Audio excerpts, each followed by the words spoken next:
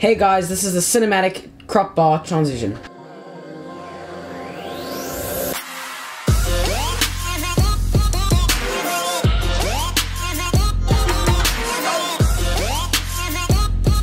Hey guys and welcome back to another super exciting video. I hope you guys enjoyed that little cinematic sequence I put together there quickly. Uh, that was actually using my new GH5 camera which I've just purchased from Orms and Panasonic. Uh, just a big shout out to them for that. Um, anyway, so what you just saw there was in fact Peter McKinnon's animated crop bar transition. Now this is a much easier effect to accomplish and it is a really really helpful tool in uh, making your videos a lot better.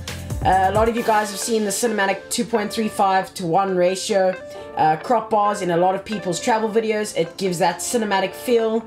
Um, this is kind of a cheat to actually doing it properly. If you want to do it properly, there's a sequence setting that you change where you go 1920 by 817, I think. But today I'm going to be teaching you guys how to do his one where he animates the bars on and off. Uh, now he does this to change between uh, casual vlogging or casual film uh, into a more cinematic form of video.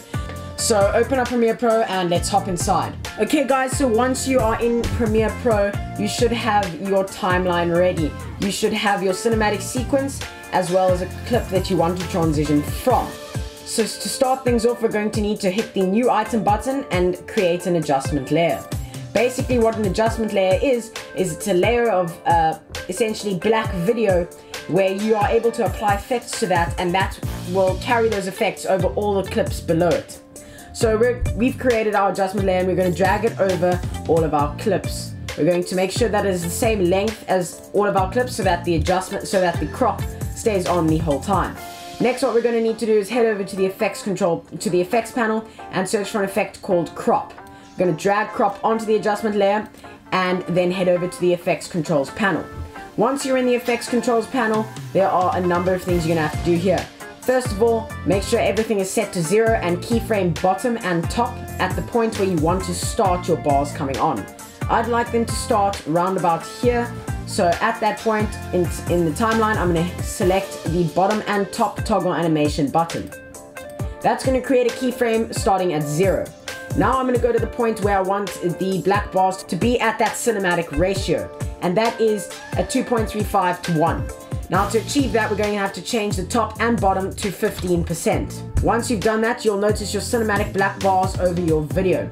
And with the animation we've just created, as you are busy talking and ending off your vlog or whatever part of your video you want to go, you'll start to see those black bars transition on. And then you'll switch into your cinematic sequence. Basically, this is actually just a cheat way to do it. If you wanted to actually have the cinematic ratio, you'd have to change your sequence settings up here into um, 1920 by 817.